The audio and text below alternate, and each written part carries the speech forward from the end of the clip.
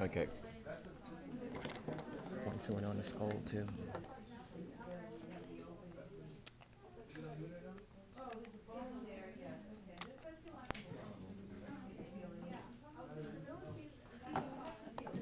Moving on to the sphenoid bone, which is the red bone that connects also to the maxilla bone, as seen here in the skull, this part. It is described as a butterfly-looking type of bone. Here we have a not colored bone. We'll start with the sphenoid sinus, which can be found between these two hollow foramen or holes. Next, we're moving to a posterior view to locate the greater and lesser wings. The greater wings, two, one on each side, inferior to the lesser wings. Next, we're going to a anterior view and locating the pterygoid process, which are these two column-shaped bones.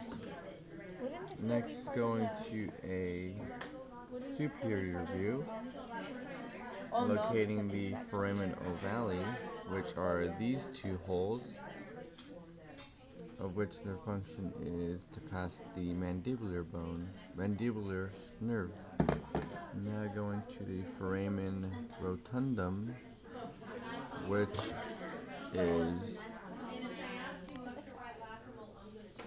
this hole here.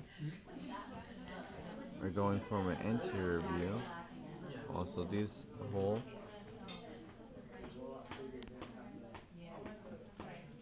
That function is to pass the maxillary nerve going to the posterior view. This bone here is the sella turcica and is a cavity for